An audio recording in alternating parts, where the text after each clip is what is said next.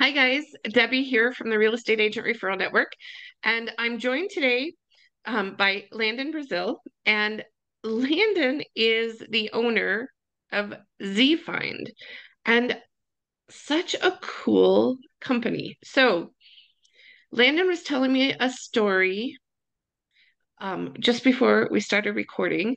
And um, I-, I thought it was so cool and so interesting. But, but Landon, first of all, welcome to the to the group Thank and you. uh Thank you. yeah so um tell us a little bit about yourself and like what Zi-Find is and and how you got started and and that kind of stuff For sure. I, I definitely appreciate you giving me this opportunity. You're doing amazing things. Um, you know, so just want to let you know that first. thank Uh you so so I'll I'll start before Zi-Find even happened. So I uh went to school at the University of Cincinnati. That's where I graduated. I played college football there. I was more interested in business than football. Um, even if even if all my college coaches was watching this this call, they'd be like, "That's very true." Um, you know, and I was more, I was just more so focused on business than football. I had a full scholarship. I made sure I did everything right. Um, made sure you know I had everything done the right way. Like you know, I didn't disrespect anybody, but I just solely cared more about business than this the the game of football because I knew that at some point football was going to end, and I needed to you know have something next to do. And so in college, I would, you know, uh, like like I used to sell shoes. So I had an eBay store. I was one of the highest rated eBay eBay sellers for auctions. Um, and what I used to do is I would auction shoes on eBay, and they were like the you know unreleased shoes or the shoes that you know nobody could get, things like that. And I would start at like ninety nine dollars, and they would go all the way up to like a thousand dollars. And so in college, as a college athlete I was making like ten thousand dollars a week, but I had to do it. I, I had to do it quietly because as a college athlete, you're not allowed to make money, and so you know that was the issue. So I had to be very, very secretive about it. But unfortunately, uh, you know, coaches did find out, compliance did find find out. Outside a YouTube channel, like they told me to shut my YouTube channel down, or they would take all the revenue that would come from it. So I was like, I'm gonna just chill out right now. I'm gonna like do I'm gonna like focus on school. And I honestly, I don't regret it, but I wish I would have just stuck to what I was doing because clearly, if the school wants to take something from you that's doing well, that means you are doing a good thing. Um, so if I would have just stuck with it, I probably would have seen even more success. But I cared so much about, you know, what my parents were thinking, um, about my scholarship, not losing my scholarship, having to pay for school, like all these different things that kind of just kept me in the straight line of like, let me just graduate, get this over with, and then get into the real world. I don't know at ten thousand dollars a week I bet you could have paid for school No, I, I definitely could have, but I was I was so I was so concerned about what other people would think if I just dropped because I never like I always had, had aspirations to do business and things like that, but I never I never thought about okay, I'm gonna just drop out because of this. Like I don't, I, you know, I like I've been so used to seeing people work my entire life, but not in business. So I only knew the like the right, the traditional right things to do. I didn't know like the like non-traditional things like that. I just knew how to make money because I was so interested in business myself. But I wasn't I just wasn't. I didn't think that if I did that, it would be a good risk. Like it, it, I saw it as a bad risk. Now, looking back, if I had kids, I'd be like, "Look, go ahead, do that. Go, just drop out. Like you know, do your thing. And you know, if it doesn't work out, like I'll support you because you took that you took that jump. You know, to at least try to make something happen. So, long story short, I graduated, and I immediately knew that after I graduated college and got my very first job, I had never worked a job before at, at, all. But once I got my first job, I knew for a fact that I needed to invest in real estate. So um, what I did was I got a job at Tesla. Tesla laid me off after two months. So I got so I was like, I'm never I'm never getting a, a job where I like if I get a job I'm at the mercy of what that job does. So I was like, I need to learn a skill. So I learned web development. I I learned it in like two months. I only knew like 60% of it. I did a certification. I didn't pass the certification, but I instantly applied for jobs and I ended up getting a job at a company that developed websites for car dealerships. So they flew me out to Vermont for training. I was super unqualified, but I still got the job because they liked my drive. They liked how passionate I was, what I was willing to do, learn, you know, ask questions. Like I was honest with them. I'm like, look, I just learned this, but I saw an opportunity. I want to take it. So they ended up not putting me at the at the best level for web development, but more like a digital marketer kind of. And I was getting $38,000 a year before taxes. So I wasn't getting paid a lot, but I was like, I don't really care about the job thing. I'm just trying to invest in real estate. So I saved up 23,000 of that $38,000 to invest in a duplex as a down payment in Dallas. Took that money, invested, and I rented out one side for Airbnb and lived on the other side. So that was my start into the Airbnb into the Airbnb world. Um, it gets pretty interesting because I also was running a digital marketing agency for realtors and I was helping them get connected with sellers. And so I was taking all my Airbnb income, like I was getting a lot of money through Airbnb because it was just popping at the time. Like it was doing really, really well. And uh I was taking all that money and investing it into my agency to for realtors. So I was like using it to run ads, I was using it to build a team, like all these different things. And at a certain point, I'm like, I cannot keep taking this money and putting it into a different business because I have to pay bills in this Airbnb business. So at the time, I also was working my job as well, but I wasn't getting paid that much, like as it was. So it's not like it really did anything for me. So what I started doing was I started taking out loans to invest into my digital marketing agency.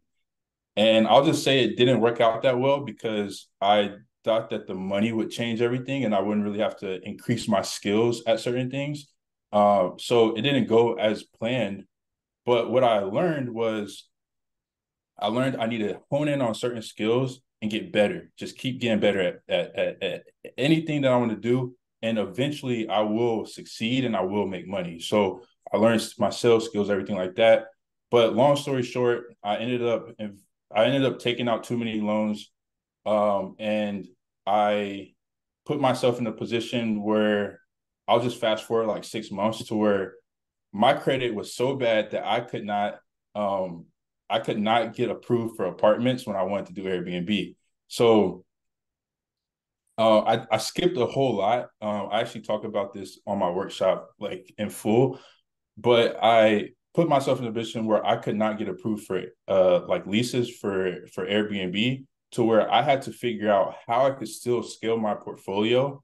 And I did. I scaled it from two units to 15 units in six months by some of these things that I did. But I was like, I need to partner with people that also want to do Airbnb, or I need to partner with a property owner that may want to rent their property out, but they don't realize the money that they can make on Airbnb. So I can partner with them so I don't have to apply for this lease uh, or applied so that they can see my credit and instead I can show them my skill and how I can help them make money. So I would go directly after property owners that own mansions and big houses because they understood business. They understood like, look, you know, this guy is trying to make me money. I see what he's trying to do. Like, you know, I'm probably I probably like when I was, you know, in my school days or when I was in my entrepreneur days, I took massive risks. This guy's probably trying to do the same thing. He has a plan, he has a blueprint. Let's go for it. So my very first deal like that was a property that had a pool and a basketball court and we was doing $20,000 a month on Airbnb. It wasn't getting rented out that much, but we were just charging a lot. Like we was charging like 1500 a night and um that property actually went viral because this kid on TikTok that did like TikTok videos, he recorded a video as if that property was his house. And so I saw it randomly just scrolling through the algorithm and saw it and I made a video saying don't believe everything that you see on TikTok like this guy is clearly lying that it's not his property. I think I was a little too mean like in that video, but I was I basically showed the keys, and took a tour through the entire property in a TikTok clip. Um, and that video just kind of blew up. So like from there, I just started getting a bunch of leads of people that was like, oh, I'm interested in doing what you're doing. I'm interested in learning how you do this, whatever. So I started coaching people. And when I was coaching people, I realized that no matter how good someone like is, sometimes it's just still hard for them to get a property because they are introverted. They don't know how to talk to these property owners. Uh, they stutter, like whatever the case may be. So I realize I realize that since I can't get approved for leases as it is, and I am not so much interested in the Airbnb business, I'm more so in helping people. I'm gonna just get properties for people solely. That's all I'm gonna focus on. And so for me to get my start, I did have Airbnb students as coaching, but what I knew that would really take off is if I just help people completely for free. So I had helped 70 people completely for free until I turned this into a real business. And so I had helped 70 people get their first unit. I was giving units to friends. I would talk to property owners.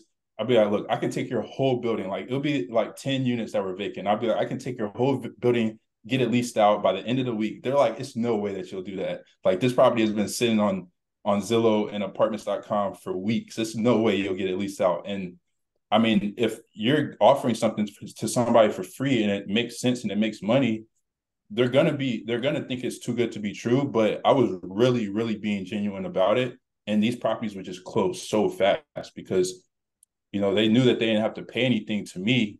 And so sometimes I would be giving units away to friends and things like that for free and they would just gift me units. They'd be like, "Look, thank you for being a good friend.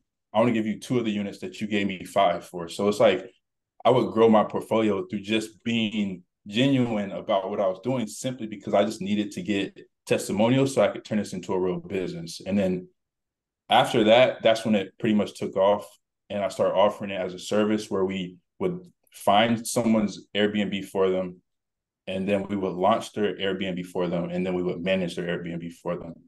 And I started realizing that people were more so interested in just finding the properties because some of them were Airbnb operators that didn't need the property to be launched for them or managed for them. So I'm like, this actually looks like a good market. Let me focus solely on finding properties for people. That was one of our services. We turned that service into a whole new company called Zi-Find. And, you know, the rest is history. Now we have a platform where all the properties on the platform are approved for Airbnb and property owners are uploading their properties to our platform every single day. That's so cool. So, um, you told me a story right before we started about listing or leasing 40 units in one building in Florida in a week, right? Isn't that what yes. you said? Yep. Tell us about that. I mean, that's like crazy. Yeah, so uh I'll give the building away. So the building's called Yotel Pad Miami. Um basically it was a brand new building and the developer of the building was looking to rent out their units to Airbnb. Now, because the building is actually a condo, most condos don't allow Airbnb because of HOA. But this this developer in particular was okay with doing Airbnb because he could charge more for his units um, instead of charging less. So like a one bedroom at the property was like 3500 or like a one bedroom that was bigger was like 4000 but the properties were all furnished with like smart furniture like the beds that fold down from the wall like the desks that come out the walls like those type of things so it was very interesting and so my team was already looking for properties. Like we, uh, you know, I've, we're probably, we're probably talking to a thousand, two thousand property owners a week. Right. So we were, we were just pounding, we were pounding cold calling, emails, things like that. And a realtor had reached out to us and said, Hey, um, like I have a building um, but I was actually referred to you guys from someone who has used you guys' program before. And your name looks familiar. I've seen it pop up a few times. I responded to you guys. I haven't heard anything back from anyone.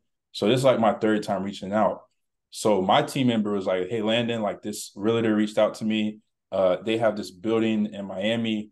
Uh, would you mind like taking a look at this? So at the time, I was only dealing with deals that were over 10 units. Like I didn't want to deal with anything that was under 10 units because I would be flying to like Arizona or to Texas or to Ohio to take property owners out to lunch to just, you know, build a relationship with them and, you know, see what could come out of it. Right. Because I was just trying to, to get their properties to our platform or get their properties so I could send it out in a blast email to everyone that, you know, signed up with us. And so I had, I, I, I was looking through the deal in Miami and I'm like, this is very interesting, but I'm like, these rents are so high. I have no idea who is going to, you know, take these properties. So I'm just thinking in my head, like, I wouldn't pay four thousand for a one bedroom, and so that was a limited belief that I was like, well, I'm, you know, it, it's not like it's not about me. It's about other people and what they can afford and what they want. So what I did was, I found out everything about the about the lease, everything that you know they did, um, the insurances, things like that, the condo. Talked to the realtor, talked to the front office. They told me everything. It was so much stuff that's involved. Um, you know, the developer, it was just so much stuff that was involved because it's a condo. And then Miami alone has like, you know, you have to like, you have to escrow, uh, you have to escrow rent. Like it, it's so much stuff that's involved with Miami when it comes to leases. It was just a whole like I had to learn all that because when I'm talking to someone that's interested in the unit, they're going to ask me these same questions. So I can't be, I can't be, I can't be not knowledgeable about what's going on because we were charging a service to you. We were charging to use our service. So someone at, at the time we were charging fifteen hundred per unit to find it, or we were charging twenty five hundred to launch the unit. So if someone's paying us twenty five hundred, they want to know every detail about the property. So I'm like, it's no way someone's gonna pay us twenty five hundred, and then they're gonna go and pay because in Florida you have to pay first month's rent, last month's rent, and security deposit. So they were paying twelve thousand dollars um, for a one bedroom, one bath, and the lease had to start immediately. Like it's not like they could wait, like things like that. So I'm like, it's no way it's gonna happen. So what I did is I just did blast promotion, blast marketing on my social media. I only had like 1,200 followers at the time um, on Instagram. I blasted it to our entire list, even the people that hadn't even worked with us yet. Like, I just blasted it to everybody. And I even put it on Facebook and groups and things like that. And uh, slowly but surely, like people started being like, look, like I'm interested in this building. Like, what's the details? I put everything in there. I, I, I like the thing that I I've noticed with a lot of property locators is they're not honest with everything because they need to make a sale. So like they won't share the address or they won't share all the details because they want someone to be curious enough to ask them more information so that they can tell them enough information to get the sale. So I realized that I can't do that. If they get the address, it's okay. If they go sign a lease, then I know that they're a shady person. like if they got the address from me and they went behind my back and signed a lease, they're just a shady person. That's I mean, I'd rather not deal with that person than to deal with that person and build a relationship with that person and realize they're shady in the in, you know in the future. So I just realized I gotta give people as much as possible. So um we ended up closing that deal. Uh and what happened was it was people that were like uh, it was a lot of entrepreneurs. Like majority of them were entrepreneurs or people that had taken out loans. And the deal just closed so fast because I was giving away all the information. Like I said, there's nobody in this industry that does property locating. You can go in these Facebook groups. They're not giving away the address for anything. Like they will not tell you the address unless you give them some form of payment. And so that's what that's how I realized that the only way that I can get as many people as possible to trust me is if I give them like everything. Um, because at the end of the day, I mean, it's going to be honest people and it's going to be dishonest people. I really only care to work with the honest people. So I'll let everything happen to the dishonest people, karma, all that stuff, and I'll just deal with the honest people. And so I, it, it, when I look back on it, it's not hard to close that many units in one week because people will trust you if you don't lie to them. And so, you know, it works out for us now. Um, we give all addresses away unlimited properties, and they bar- they barely are paying anything, and they're getting all that information. So they're like, I mean, why not? And so, so now you have a workshop uh, and a course that you teach every Sunday, right? And the and the course is free. yes, Um, they, they can come to your workshop for free on Sunday and learn how to do this rental arbitrage that you're talking about. right, yeah, yeah. So every Sunday, I'm teaching realtors how to uh, unlock real estate commissions through Airbnb leases without spending any money on marketing to grow their database and also to close deals. Um, this is a high demand industry. It's very possible. I've been doing it for years. I've taught people how to do it for years.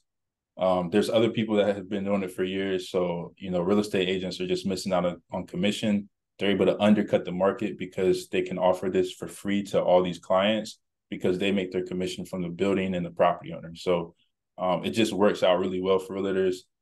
Brokerages tell realtors that there's no money in leasing, and I completely understand that because with a regular lease, you're you're working with a client, and then a year later they don't need you until a year later, like until they are ready to buy a property or move again. So you're not going to deal with that client for a while. Corporate leases, if I get a unit today and my business starts making money and I want to expand my portfolio tomorrow or next week or next month, I'm going back to that same realtor to help me find a property in that same market. So I could be a realtor and working and work with a client that has came to me 10 times throughout the year and have 50 clients. Gotcha. Gotcha. So That's that's pretty amazing. So, um, you you're we're going to put your contact information, how they would get a hold of you.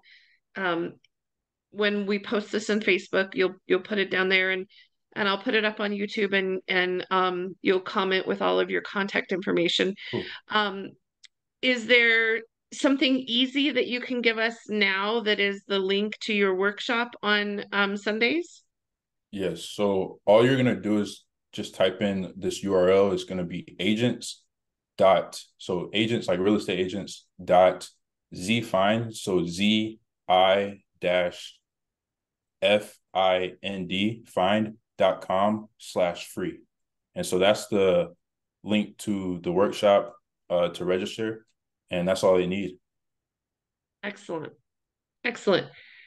Well, I'm so excited. This is this could be really cool. There's so many agents out there that are struggling, and um, this could be a great little niche for them to um, really plug into and be able to make some money quickly Mhm. and um, you know turn that around. It, it the the market is a little bit you know, unknown right now. So um, having something like this that they can plug into and and make some money pretty quickly is really a cool thing. Yeah and the last thing i want to give you the the cool part about this is it, it doesn't interfere with their real estate license and on top of that the clients that they get through rental arbitrage they eventually will make enough money to go buy a property or they may have properties already that they need to sell. Like i'm a real estate investor myself. I do rental arbitrage. If i if if a realtor got me a rental arbitrage property in a specific city i'm gonna be like hey look my airbnbs are doing really well. I'm tired of paying these property owners rent every you know every month. Do you know of any properties that i can invest in? You know and because i've worked with this realtor for so long i trust this realtor. So you know it it it it, it helps with the buy and sell process. Um and these these these leases could take a week to close so you're not waiting 30 days Right, right, yeah.